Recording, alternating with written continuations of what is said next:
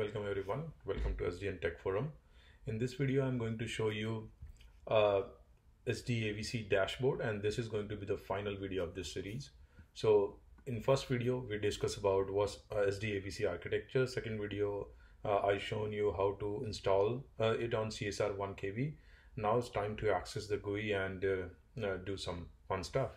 So type in your controller IP address with 8443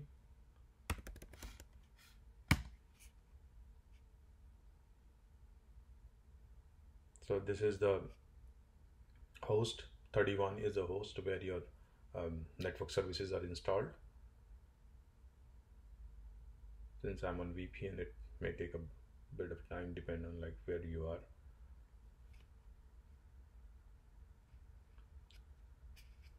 and once you're presented with the dashboard um, use the uh, device credentials as your user login username and password. So there is no separate username and password by default but you can create user. So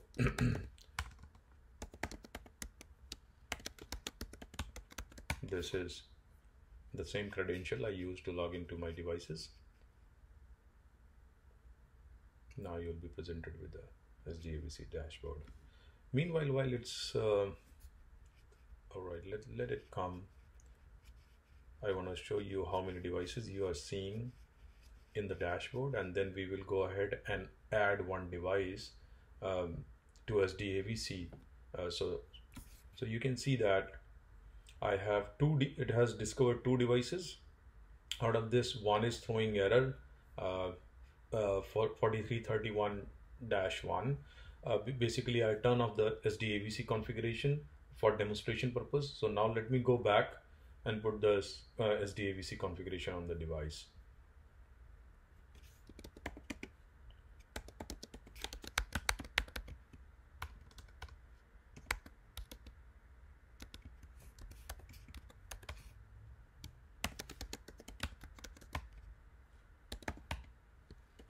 and in my architecture video I have shown you what command line will go into this. A very few commands like AVC SD service uh, define your segment. Segment is an arbitrary uh, name for the group of devices and then point it to a controller. In my case 31 is my controller and I'm defining source interface as key0 all right um, so SD AVC configuration pasted and um, we will look for the connectivity. But before we look for the connectivity, what I want to show you is uh, the license. So SDAVC uh, AVC SD service command is available only if you have right license. So if you are running IP based services, um, uh, this feature is not available. So you need to have Apex license for minimum. So you can see that I, I have installed advanced uh, an application license this is the license you need. I'm running in the eval mode. That means i have just accepted the eula and that will be uh, valid for like 90 days. Eval period you can see it's 90 days. Show run i license. So if you don't have license you can still say boot this and uh, accept eula user license. So the feature will be available for 90 days. Otherwise you won't uh, see the uh, AVC SD service uh, command line. All right. Now let's see if I am connected to um, my dashboard. I can check it uh, in dashboard itself, or maybe I can check uh, on router. So for that, so the connectivity um, info connectivity. Or let me do a question mark. Okay. So what you should see is status as connected. That means it is successfully talking to SDAVC uh, dashboard. Uh, if you don't have the port uh, allowed, it, it uses certain ports. If you don't have those ports allowed, then probably it may fail. So look for the Cisco documentation to see what port number you need to allow. And now let's go back to the device itself. Um, sorry, SDAVC dashboard. I can see still showing one error maybe I need to refresh and you should see both the devices talking to SDAVC.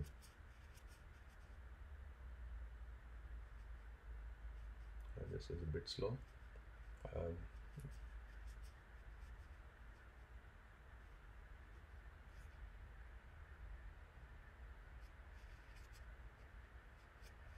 apologies for that. It's a little bit slow here.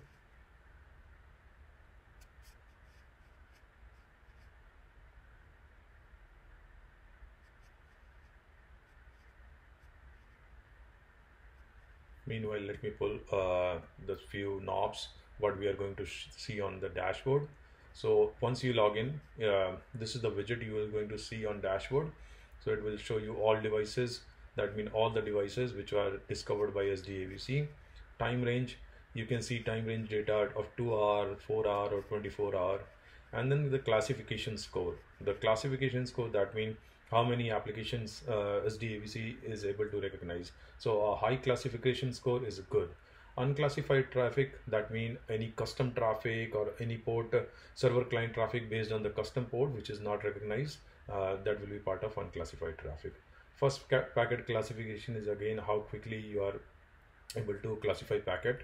Total uses, total bandwidth used by different application SDAVC coverage ratio again um, depend on classification score.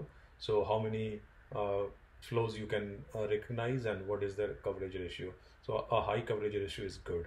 Asymmetric index. So as I mentioned in my video, uh, SDAVC is instrumental in identifying asymmetric uh, uh, flows.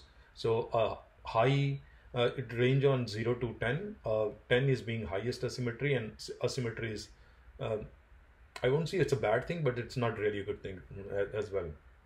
Timeline, and these are the few things you're going to see. So let's go back to uh, dashboard itself, and I'm going to show you how it looks like. So still th throwing a bit of error, uh, but this will eventually, uh, this is not a fatal error. This is just a warning. Okay, so you can, uh, this will get fixed in some time, but at least we are talking to that and you can see that my new device is there with the segment uh, and the device IP address. It has detected the IOS version and now you can see per device view or uh, so once you log into the device you will see all devices and then you are seeing some application down there uh, down here and uh, the the uses. So uh, I have I don't have any uh, strong flow going on it's just the management or control kind of traffic uh, some BGP traffic. So you can see that these are uh, identified and what is uh, the bandwidth they are consuming. So yeah, it's shown here as a graph. But if I happen to start any flow, uh, you will see those flows here. You can drill down as a classification score or basically you can change the view and it will show you in the timeline. again, timeline wise, two hours is the default but you can always go back to 12 hour 24 hour or 48 hours. Um, another good thing is to check is that uh, install protocol pack is 41 so it has recognized the protocol pack on device itself and the device protocol pack today uh, right now is 41 i'll show you how you can administrator uh, your protocol pack centrally so the next tab is protocol pack. We go to protocol pack. And you can see that 4141 not updated uh, because we have not used SDAVC to update that uh, and we can do that centrally here. So go back to serviceability. Serviceability is kind of like admin uh, task. So you can click on system. It is going to show you the system uh, health check so basically how much memory you have how much disk and if everything is, lo is looking good. By default you can see these two DNS IP address and it uh, will looks familiar to you. So by default uh, SDAVC uses OpenDNS uh, or uh, Cisco umbrella DNS let's go back um, to serviceability.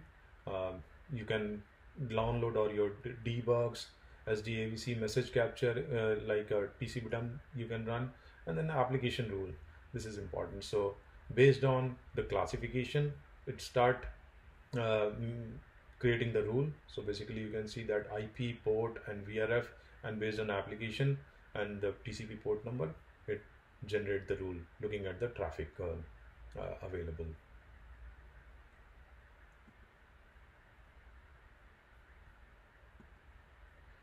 Now let's come back and I'll show you how to administrate, uh, administratively deploy protocol pack.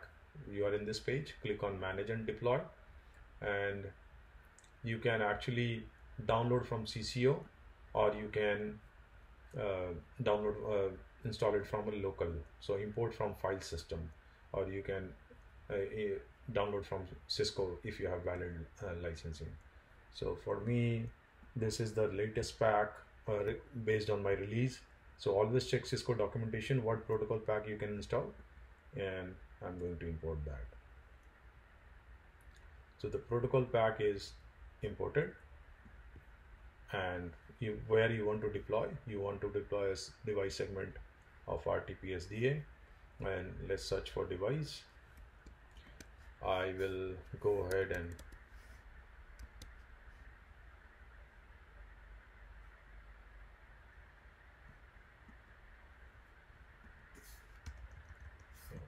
search for device.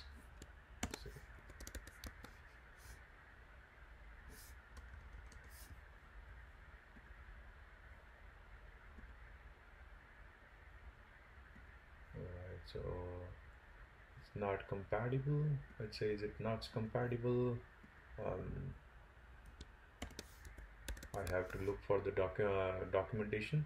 So basically if you have if you have downloaded the right protocol pack looks like I okay. Yeah I know why it is saying that. Let me tell you. Uh, my protocol pack is 16.9 uh, if you see here.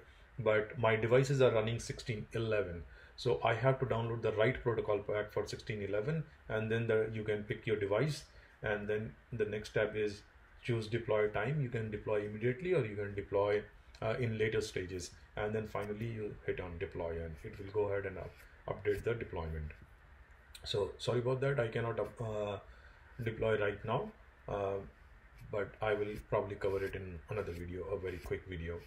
Connector this is the piece I would like to show you. So based on now direct uh, uh, cloud SaaS applications and all those things you can create cloud connectors to your cloud uh, SaaS applications like Microsoft uh, 365 and all those based on your client ID and all those things and then you can generate you can download the application rules from the cloud SaaS provider and, and and push it to your network infrastructure dynamically.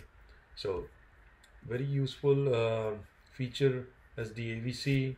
You can monitor all your uh, devices, look at, give you a detailed application visibility over time, and um, uh, you can centrally manage them.